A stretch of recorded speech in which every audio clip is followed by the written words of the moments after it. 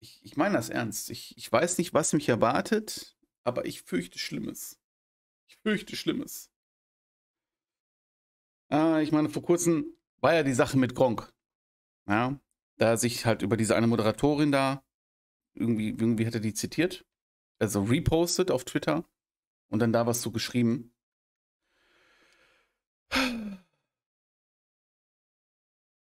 Ich traue mich nicht. Das wird grausam. Aber gut.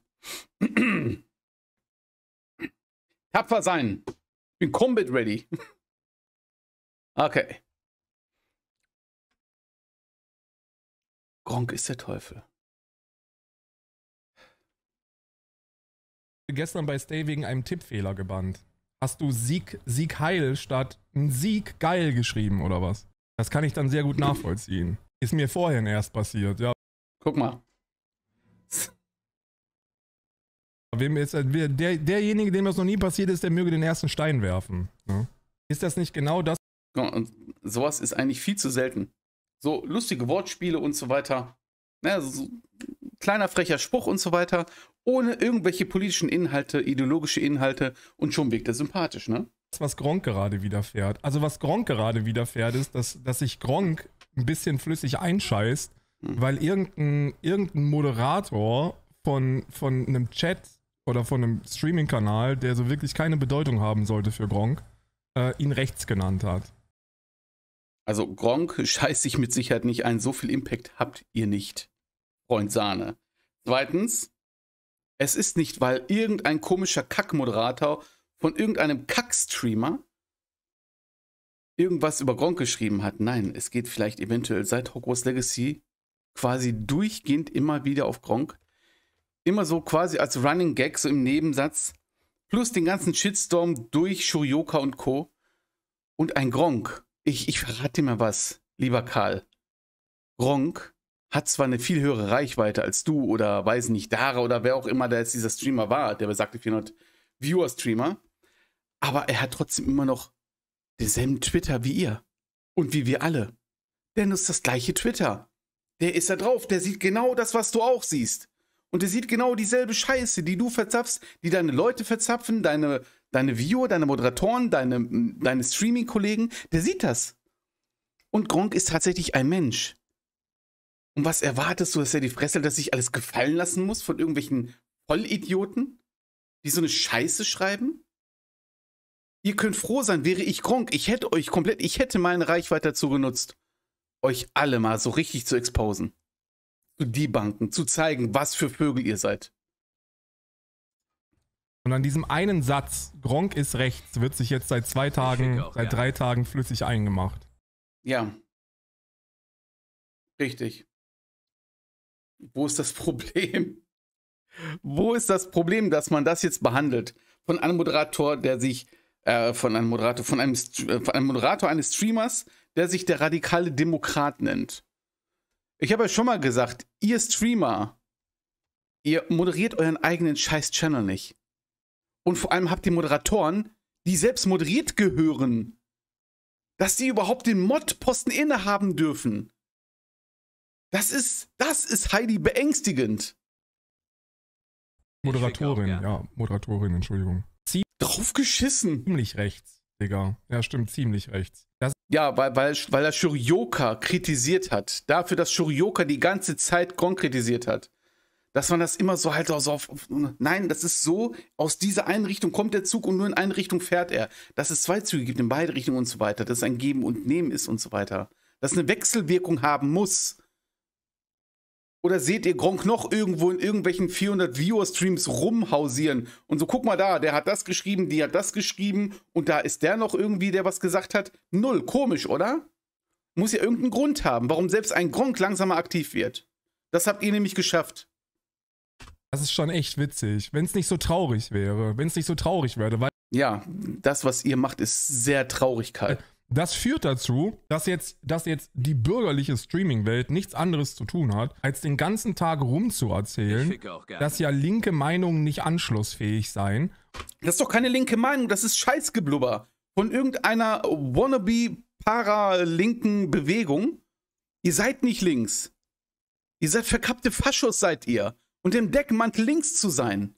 Und im Deckmantel was Gutes tun zu wollen. Seid ihr verkappte Faschos. Mehr ist das nicht und weniger ist es auch nicht.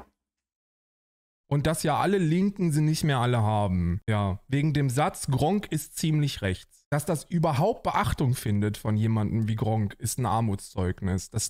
Was? Nochmal was? Dass alle Linken sie nicht mehr alle haben. Ja, wegen dem Satz, Gronk ist ziemlich rechts. Dass das überhaupt Beachtung findet von jemandem wie Gronk, ist ein Armutszeugnis. Aber du möchtest doch Beachtung finden, selbst bei jemandem, der nur 40 Viewer hat, wenn es auch darum geht, Hogwarts Legacy zu boykottieren, oder nicht? Da ist die Größe auf einmal nicht mehr so relevant. Da geht es nämlich nur um den Inhalt.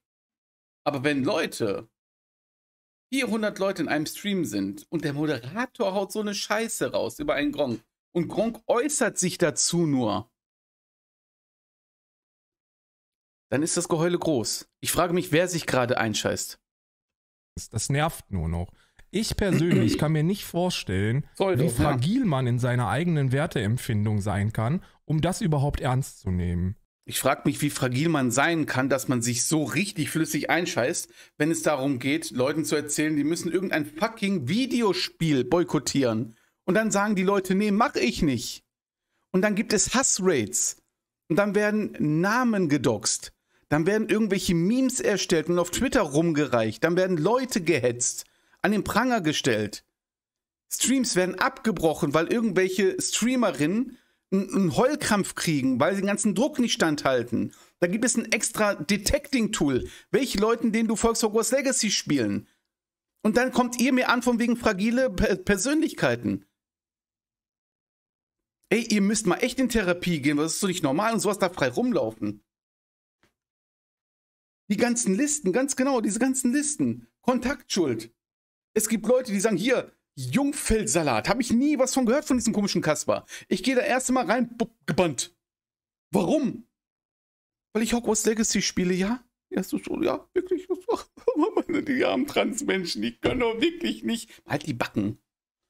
Spacken, ey. So, wie kann man sowas denn überhaupt ernst nehmen? Ja, wie kann man euch überhaupt ernst nehmen, indem ihr eure Reichweite nutzt und die Leute tyrannisiert? Deswegen muss man euch ernst nehmen. Weil ihr so klein wie ihr seid, eine richtig große, laute Fresse habt. Und Hass, Lügen und Hetze verbreitet, wo, es, wo, wo man nur guckt. Und dem muss Einhalt geboten werden. Ich verstehe das nicht. Das so läuft die ich dir. Berichterstattung darüber gefühlt. Das Fox glaub ich dir. News, ja, es ist wirklich so. Es ist wirklich so. Die sind komplett, die sind alle am Durchdrehen. Es gibt Artikel darüber. Du musst dir das vorstellen. Haben wir schon mal über die ganzen Artikel geredet von Dara und diese Aufklärung über, die, über den ganzen Frauenhass, diese Misogynie und, und die ganze Scheiße und diese ganze Transfeindlichkeit und alles sind rechts? Das ist, aber das findet keine, äh, das, das findet keine Erwähnung bei dir, ne? Da gibt es unabhängige journalistische Medien, die Artikel darüber schreiben und dann auch noch lügen. Und dann gibt es 100.000 Sa- 100.000 Statements, weil eine Moderatorin geschrieben hat, Gronk ist eh ziemlich rechts, scheinbar. Das ist der Satz. Nee, weiter, lies mal weiter bitte den Satz. Komm. Nicht nur einen Teil des Satzes raushauen. Gronk ist eh ziemlich rechts, scheinbar. Weil So krass, wie er gegen Shoyoka gehetzt hat. er hat gegen Shurioka gehetzt, er hat die fucking Wahrheit gesagt. Eine Meinung sagen, die Wahrheit sagen, ist also Hetze? Boah, Und dem soll ich, den, den, da soll ich irgendwie Mitgefühl haben, wenn er rumheult, dass er in Therapie ist? Ich habe Mitgefühl für den Therapeuten. Schwierig nach dem Karls Outing, dass sechs Monate wöchentlich auf der Couch liegt und das dann noch länger outen wird, will ich ihn ganz persönlich umgehen. Der Teufel des Weihwasser, angeschossen und mental auf der Bahn geworfene Menschen, sind meine persönliche Welt, heiliger Boden. Eigentlich ja. Aber wenn du dich dann tatsächlich, wenn du in Therapie bist und dann sagst, ja, ja, aber, aber, aber, dann gehst du auch nicht mehr an die Front. Wenn du als Soldat aus dem Krieg kommst mit PTBS und du wirst Zeit deines Lebens dann behandelt aufgrund dieser Störung, dann gehst du auch nicht mehr an die Front, oder? Dann denkst du nicht mehr dran, irgendwie an die Front geschickt zu werden. Aber Karl geht immer weiter an die Front. Und wer kampfbereit ist, der ist auch bereit einzustecken. Das ist der Satz. Und die Antwort von Gronk ist, kannst du dir einfach nicht ausdenken, mir ist vor Schreck die Armbinde in den Pudding gerutscht. Die einzige Hetze bei mir ist die von Termin zu Termin, Dankeschön. wollte das jetzt aber trotzdem mal zur Belustigung teilen. At twitch.de ist sowas eigentlich okay, würde ich gern wissen. Also wenn wir schon mal dabei sind, was wir gerne wissen wollen, ich würde gern wissen, Gronk, wo denn der Aufschrei ist von einem der größten, wenn nicht dem, dem größten deutschen äh, Gaming-Streamer, wenn fucking Nazis auf Twitch streamen. Alter, ist das ein, boah, ist das ein fadenscheiniger Whataboutism. ja, aber warum sagst du das? Das sind Nazis. Dachte auch mal was.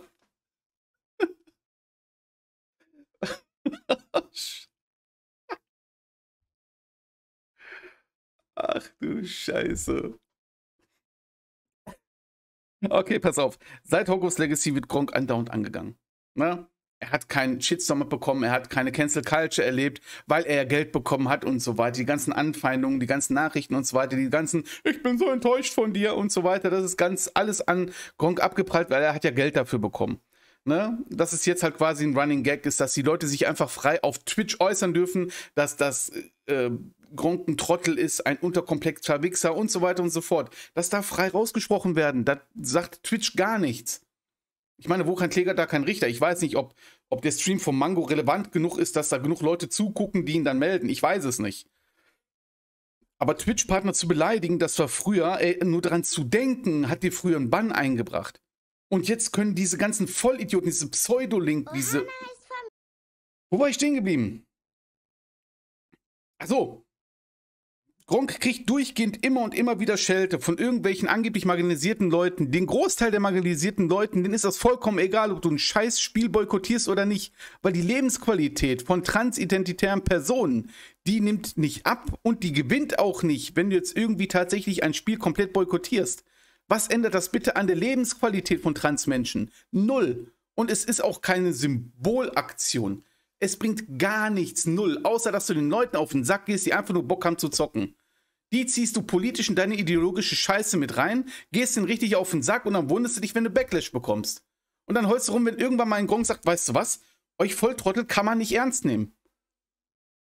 Und dann sagst du aber was ist mit den ganzen Nazis? Was denn für Nazis? Nennen sie doch mal.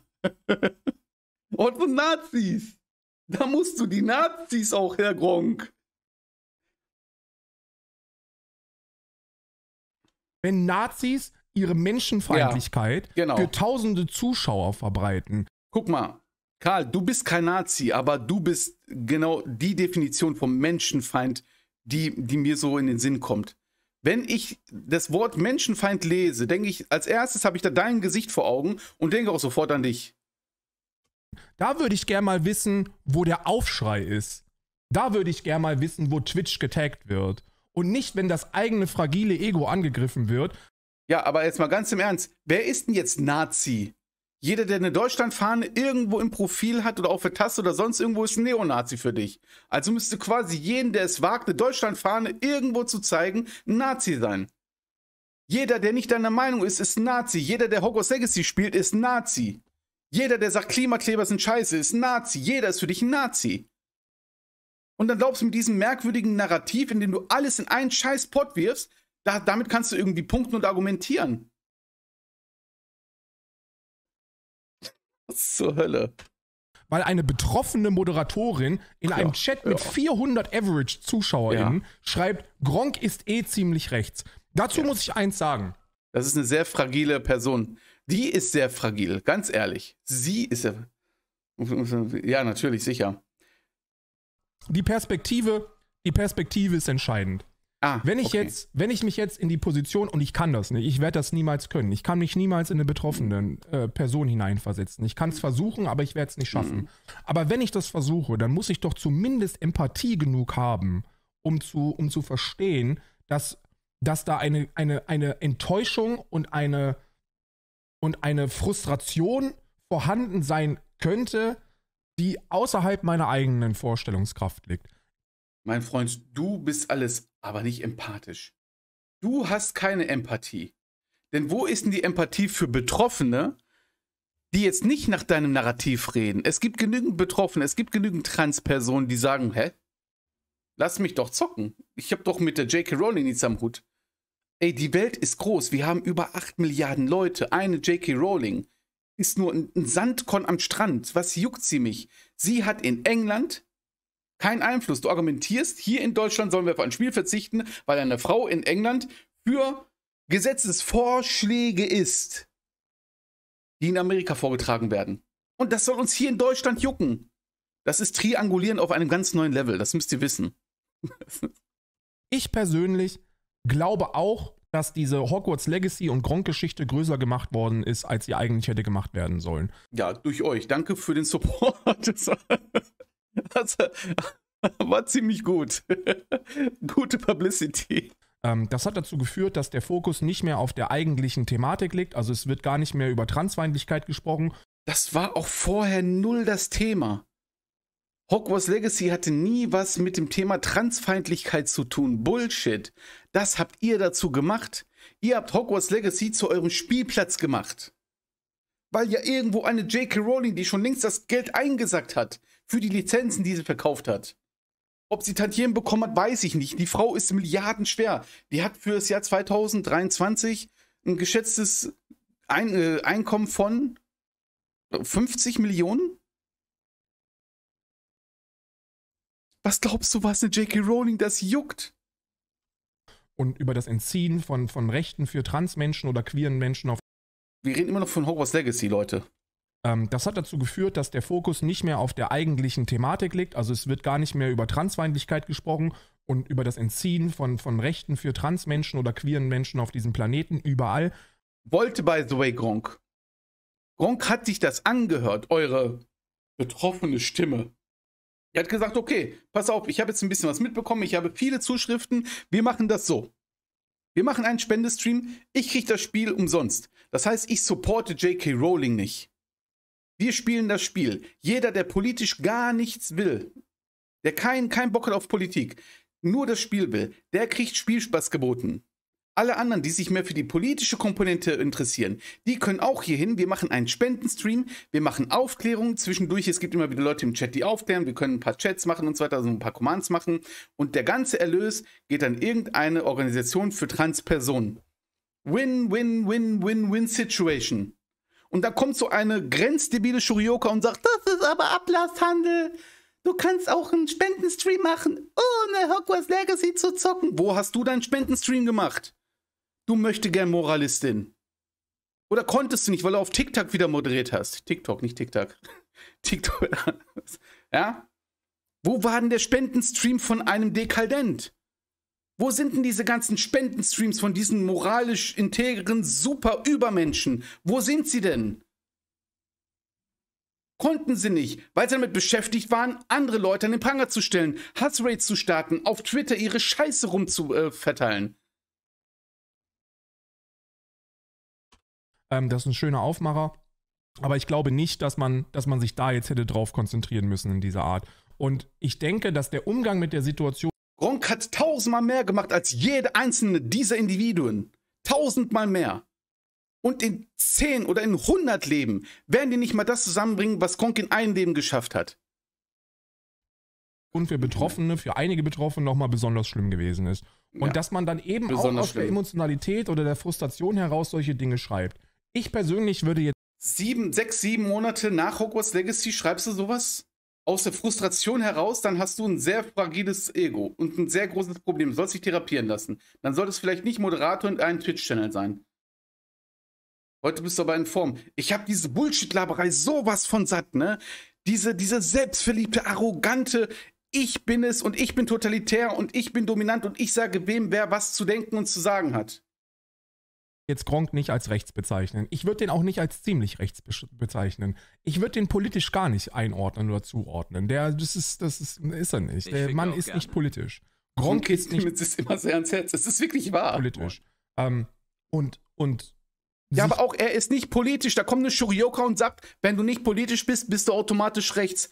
Und dann wundert die sich, dass sie nach Monaten so einen großen Backlash hat. Und dann heißt es, ja, aber ihr seid aber ziemlich frauenfeindlich, ne? Also ich, ich bin eine starke Frau, ne? aber ich muss ja ganz ehrlich sagen, diese Misogynie, die, die kickt ja richtig rein, ne? Und weil ich jetzt, weil ihr ein fragiles Männer-Ego habt, mal halt eine Bäckchen. Huch. auf so einen Kommentar zu stürzen, da kann man jetzt natürlich ankommen und sagen, ey komm, ah, man muss sich ja auch nicht alles gefallen lassen Ja. und man kann ja darauf eingehen und, Mhm. und ähm, das ist Gut. aber verständlich, dass der sich sowas nicht gefallen hat. Welche Konsequenzen hat das denn? Welche Konsequenzen hat das denn? Wenn eine. Moderatorin eines 400 Viewer-Streams schreibt, Gronk ist eh ziemlich rechts. Glaub Ja, man, man zieht nur den guten Ruf eines sehr bekannten, einer sehr bekannten Person durch den Dreck. Das ist üble Nachrede. Weil diese fragile Person es einfach nicht zustande bringt, zu erkennen, dass eine Shurioka sehr wohl zu kritisieren ist. glaubt, glaubt irgendjemand ernsthaft, dass das das Meinungsbild ändern würde? Ich finde es fair, dass er das ankreidet, aber er hat Viewer-Streams, schreibt, Gronk ist eh ziemlich rechts. Glaubt, glaubt irgendjemand ernsthaft, dass das das Meinungsbild verändern würde? Ich finde es fair, dass er das Ach so. Demzufolge kann diese Person auch schreiben, was sie will, weil es ist ja nur ein 400 Viewer-Stream, keinen großartigen Einfluss und so weiter und Gronk muss da einfach drüber stehen. Der hat ja eine große Community, der kriegt ja immer Subs in den Arsch gesteckt, deswegen muss er darüber stehen. Der muss ja auch einfach alles gefallen lassen. Da habt ihr einfach einen Freischein.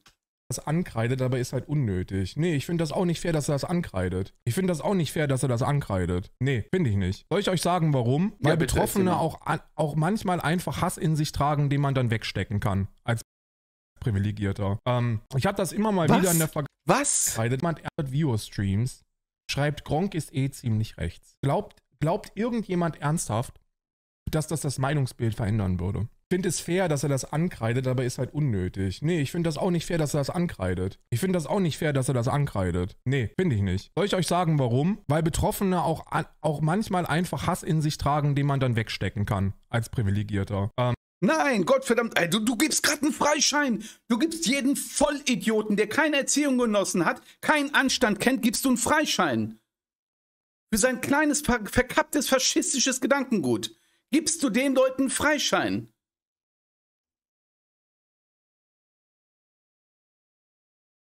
Bah, bist du widerlich.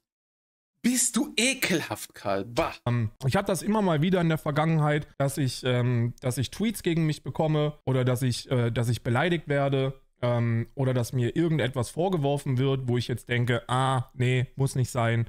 Äh, von Menschen, wo ich dann aber mit einem Mausklick herausfinde, gut, da handelt es sich um Betroffene, die haben vielleicht sogar einen berechtigten, irrationalen Hass gegen, gegen bestimmte Personengruppen oder dann auch gegen mich oder gegen Aussagen oder bewerten das alles ein bisschen drastischer, als ich das tun würde. Und dann lassen die ihren Frust raus. Und soll ich euch was sagen, da musst du drüber stehen. Das Nein, musst du nicht. Musst du nicht. Hat man dir. Sag mal, regnet's rein bei dir, Karl? Was ist denn los mit dir? Ist das Käppi zu eng wieder am Sitzen? Was ist denn los mit dir? Nein, was heißt, Privilegierte müssen sich das erdulden lassen? Nein, das, so funktioniert das nicht. Hass ist, wie gesagt, Hass ist keine Meinung.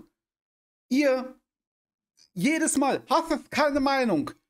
Transhass ist keine Meinung. Aber wenn Betroffene Hass zeigen, dann ist das schon eine legitime Meinung. Da muss man als Privilegierter. Wer entscheidet, wer privilegiert ist? Wer entscheidet, wer betroffen ist? Wer entscheidet, wann wer welchen Hass dulden, zu dulden hat und wer nicht? Das ist einfach etwas, wo du drüber stehen musst. Das ist, das ist bescheuert, weil, wenn Nein, du musst dir nichts gefallen lassen von irgendwelchen Leuten, die irgendeine Scheiße labern über dich. Musst du nicht. Auch ein Gronk. Und wenn der 100.000 Zuschauer Average hat und wenn der in jeden gottverdammten Stream 250.000 Euro Gewinn macht, muss er nicht. Danke. du das nicht machst, dann, dann, dann führst du einen Konflikt auf dem Rücken von Marginalisierten. Das ist Boah, bist du ein Ekeligen, ne? Man führt also, wenn ich mich jetzt nicht wenn ich mich jetzt einfach nicht beleidigen lasse und mich wehre, führe ich einen Konflikt auf den Rücken von marginalisierten Gruppen? Bist du widerlich, du instrumentalisierst genau diese Personengruppen, die wirklich Support benötigen, für dein verkapptes faschistisches Gedankengut. Ekelig. ist das, das ist dann ultimativ das, was passiert. Und das ist auch bei Hogwarts Legacy passiert. Da haben sich dann, das habe ich auch gemacht, da haben sich dann irgendwelche, irgendwelche Allies eingemischt und haben die Thematik größer gemacht, als sie ist, haben den Fokus dann auf das Spielen des Videospiels gelenkt, haben dann irgendwie da war- Gronk angegangen und das Ganze eben nicht, um eigene Konsequenzen zu erfahren in Ah, da Kedavra, ich muss richtig lesen, es tut mir leid. meinem Fall, sondern auf dem Rücken von Betroffenen. Das ist fucking unnötig. Das hat auch nichts mit Solidarität zu tun. Ja, das habe ich aber auch gesagt. Dass ihr eure merkwürdige, komische, verquerte Ideologie auf den Rücken von Betroffenen auslebt. und Leute, die wirklich Support benötigen, die sich einen Scheiß um irgendwelche Hogwarts Legacy-Spiele kümmern, weil es die Lebensqualität weder einschränkt noch irgendwie supportet oder sonst irgendwas, ganz egal wie der Boykott ausgegangen wäre, null Einfluss auf die Lebensqualität eines Transmenschen. Und in dem Fall ist dann auch, selbst wenn man ungerecht. Ihr habt Hogwarts Legacy dazu genutzt, dass ihr selber euch wieder mehr zum Zentrum einer Diskussion macht, die ihr gar nicht zu führen habt. Ah, ich bin Ally, ich bin, ja, ich habe ja nicht genug Empathie, aber ich verstehe das ja schon. Ihr habt euch eine goldene Nase ran verdient, weil ihr euch selbst ins Zentrum gestellt habt. Ihr musstet euch emporheben. Guckt mal hier. Ich bin für die ganzen, äh, ich bin für den ganzen Support zuständig. Und Leute wie Finesse, die komplett unwissenschaftlichen Quatsch erzählen, die es nicht besser wissen, die nutzen das auch für sich. Und die Leute, die eigentlich ne, gar nicht mal ganz so komplett lost sind im Kopf, die sagen, was ist denn jetzt Hogwarts Legacy? Was soll denn das? Ey, wir haben auf offener Straße Probleme. Wenn ich auf offener Straße als Transfrau, der noch keine Geschlechtsangleichen, äh, die noch keine geschlechtsangleichende Operation hatte, also noch äußerlich deutliche Merkmale eines Mannes habe, aber mich als Frau fühle und ich möchte als Frau leben und ich werde auf offener Straße beleidigt, angespuckt, ich werde ausgelacht, ich werde im Job benachteiligt und so weiter. Das ist, das sind Sachen, die sind auf der Straße, die passieren auf der Straße in der Familie, bei Freunden, im Beruf, im Bus und Bahn, aber doch nicht irgendwo, ja, dann kriege ich den ganzen Tag diesen Scheiß ab. Wenn ich Pech habe, dann setze ich mich abends hin und denke aber gut, dass Hogwarts Legacy boykottiert haben. Mein Gott, was bin ich froh. Was würde es mir jetzt um ein wesentliches Schlimmer gehen, hätten sie jetzt noch Hogwarts Legacy durchgelassen? Was ist denn das bitte für ein Weltbild, was ihr habt? Und dann stellen sich diese Leute im Internet hin und sagen, ja, aber ich war ja dafür, dass man euch supportet wegen Hogwarts Legacy. Dann denke ich mir, fuck you mit deinem Hogwarts Legacy, komm auf die Straße, nimm mich da doch mal in Schutz. Aber das ist so eine feige Sau, da kriegst du ja keine Klicks, da kriegst du ja kein Geld, da kriegst du kein Fame. Da müsstest du deinen Arsch bewegen. Wo ist da dein Support? Du Heuchler. Aber rumheulen, wenn Gronk dann dementsprechend Geld bekommt, Support bekommt, weil die Leute erkennen, was für vollkommene Schwachmaten ihr seid. Fertig angegangen wird von Leuten, ist es dann oftmals das Schlaue, einfach die Fresse zu halten und es, und es über sich ergehen zu lassen. Dann sei doch einmal im Leben schlau und halt die Fresse. Insbesondere, insbesondere Sorry. wenn es um solche Zuordnungen geht. Ja, aber so etwas kann man einfach nicht droppen. Was, das Gronk ziemlich rechts ist, oder was? Na, ist doch erstmal total scheißegal. Also, was hat denn das für eine Auswirkung, wenn irgendjemand schreibt, Gronk ist eh ziemlich rechts? Was hat denn das für Auswirkungen? Wie ist der radikale Demokrat ordnen? Ist der rechts, links oder was anderes? Das hört man doch am Namen schon. Radikaler Demokrat, der ist. Ein Autokrat ist das. Der hat, der hat sich verschrieben. Der hätte eigentlich sagen müssen, radikaler Autokrat.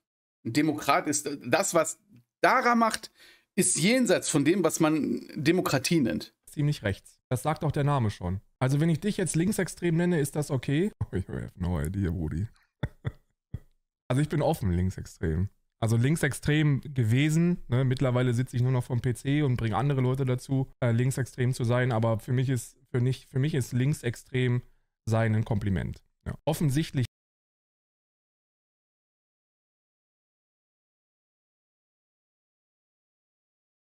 Gibt Ihnen einer mal irgendwie ein Leckerli dafür, dass er jetzt sagt, okay, das ist ein Kompliment? Deiner Logik nach. Ja, du, wie gesagt, also ich habe kein Problem mit meinem eigenen politischen Weltbild. Ich bin da sehr, ich gehe da sehr offen mit um.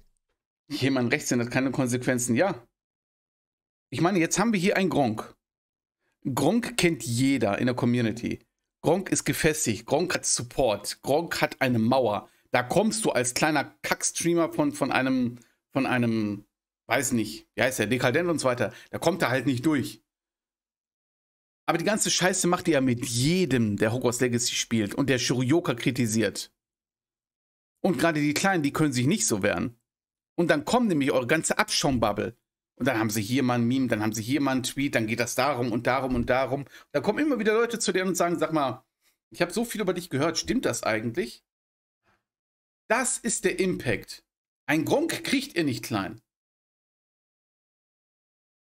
Und ich habe einen, also ein sehr linkes Weltbild dass die Bubble das Letzte ist und Personen wie Finessi unterstützen, die Fehlinfos verbreiten und Personen wie mich denunzieren, weil ich aufkläre, ist doch gewollt. Denn ich setze uns Transpersonen mit allen Menschen gleich und hebe nicht jemand auf ein höheres Podest. Ja, aber ganz genau, das brauchen die. Die brauchen diese Aufmerksamkeit. Sie müssen sich selber halt zum Zentrum der Diskussion machen. Für Klicks, für Reichweite, für Applaus, für, weiß ich nicht, für Selbstbestätigung, weil man halt tatsächlich so ein fragiles Ego hat, das abhängig ist von dem Applaus, den man kriegt im Internet. Ich habe schon die Kriterien in meinem Leben erfüllt, als linksextrem bezeichnet zu werden und die Polizei und meine Führungsakte sieht das auch so. Ja, fein. Fein. Du bist aktenkundig. Ja, super. Ey, hör mal. Ey, das ist bei jeder Bewerbung immer so ein Vorzeigeargument. Na, Mutter, hör mal, ich hab, ich hab hier Polizei, Führungszeugnis und so weiter. Ne? Guck mal hier. Alter. Extremismus ist schlecht, egal in welche Richtung. Ja, Dankeschön. Mit der Frage habe ich mich noch nie beschäftigt und das habe ich so auch noch nie, noch nie gesehen. Danke, dass du mich hier bekehren konntest. Aber das hier als Bubble zu bezeichnen, ist doch dann richtig. Ich halte Bubble für einen, insane, für einen insane bescheuerten Begriff, weil damit nur versucht wird, irgendjemanden oder irgendetwas zu diskreditieren. Das, und, das, und das wird einem Karl gar nicht einfallen. Der Karl macht das nicht in Bubble. Der sagt einfach, du bist ein Neonazi. So sowas wollen wir nicht.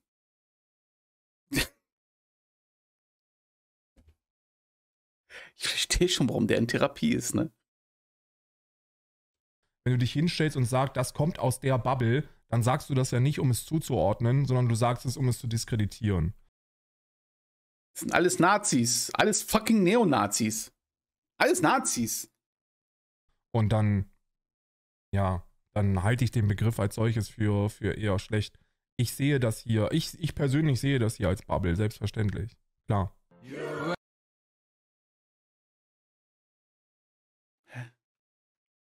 Also Bubbles mag er nicht, weil das soll einfach nur halt Mittel zum Zweck sein, aber das ist natürlich eine Bubble.